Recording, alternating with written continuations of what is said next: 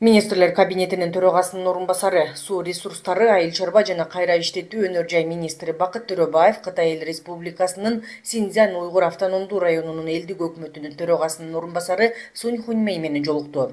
Анда бакыт төрөбаев маектешине жакында эле жөнөкөйлөштүрүлгөн тартипте убактылуу шарттарды түзүү менен ачылган.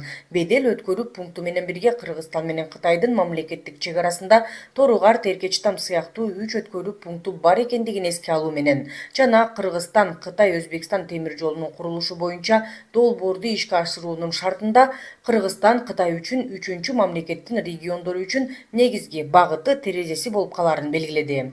Өз кезегинде кытай эл республикасынын сууар элдик өкмөтүнүн төрагасынын орун басары сунь хуньмей кыргызстан менен кытайдын жетекчилери тарабынан коюлган милдеттерди эске алуу менен айтылган сунуштар боюнча тиешелүү иштер жүргүзүлөөрүн жана эки мамлекеттин ортосундагы көп кырдуу өнөктөштүгүбүздү ийгиликтүү bilgirildi. Yüzde gelişenimin bildirdi.